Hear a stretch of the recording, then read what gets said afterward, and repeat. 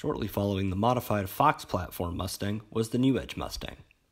With fans anticipating a new performance package, Ford introduced the 2003 Mach 1 as a callback to the end of production for the original Mach 1 in 1973. Some 30 years later, the new Mach 1 came equipped with a modified 4.6 liter V8, upgraded exhaust, and more.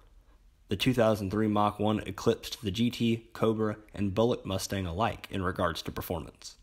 Sure to be a future classic, the 2003 Mach 1 is a modern Mustang for the books.